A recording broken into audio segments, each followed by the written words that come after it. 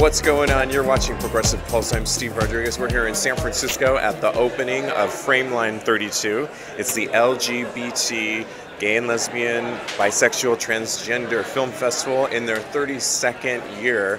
We're here at the opening night for Affinity, the period piece that opened today, and we're going to get some comments and some viewer feedback of this opening night film. Let's take a look.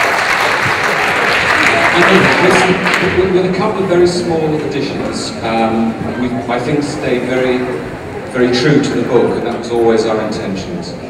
Um, it, it, was such an impressive book, such an impressive script.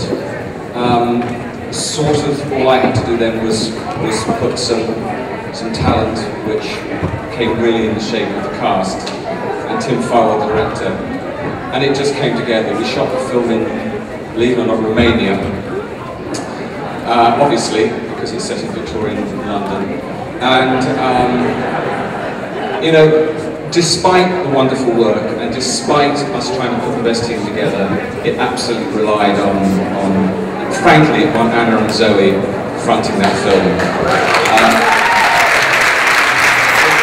Um, it's just an amazing story that you meet someone at that point in her life. She's just lost her father and and there's so much going on with her. And I just thought that character in that time, a lesbian woman who has no word for who she is, who has no one else to talk to about her identity. I just thought that was that was something really interesting, and I really wanted to be uh, part of telling that story. And, um, and also, I just think it's a beautiful love story. I'm not sure now what my inspiration was. You know, I'd, I'd written Tipping the Velvet. This was my second novel, and Tipping was so upbeat. Um, that, it was tremendous fun, and it was very, you know, it was, it was about um, a women or a woman who had a range of possible ways of being a lesbian. But having done that, I sort of thought, actually, it'd be really interesting to tell a very different sort of Victorian story too tempting not to write about. And plus, I'd always I'd, been interested in spiritualism for a long time, and I knew a bit about how women had become, actually, especially working class women. It was a it was a, a forum for them to become quite powerful in, and they did often manifest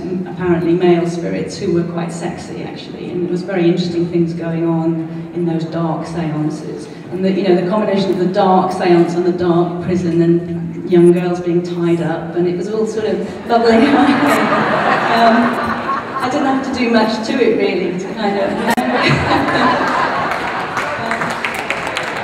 um, one, one of the things I love about the adaptation are the spiritualist scenes, which I think do capture that the queerness, the, the real queerness in all sorts of ways of, of Victorian spirit, spiritualist activities. Lee, what did you think of Affinity?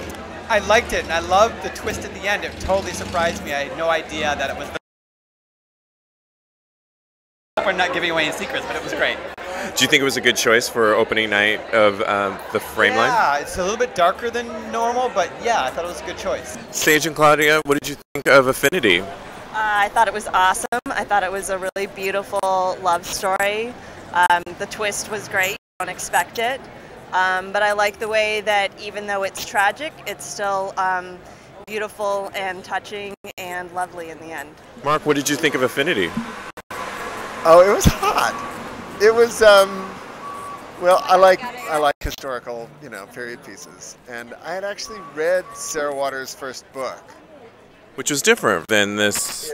It, was way different. It was like a fantasy of who you could be. And this one turned out to be a different sort of story. Yeah, cool. I'm not going to tell you the end. What do you think of such a darker themed film as the opening for Frameline 32? Oh, well, congratulations. We've grown up. um, it used to be that uh, lesbians screamed if there was a penis in a movie.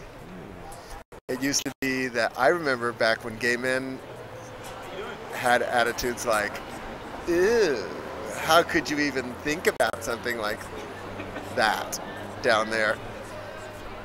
Now we can even have a dark, let's just say dark themed film. Yeah.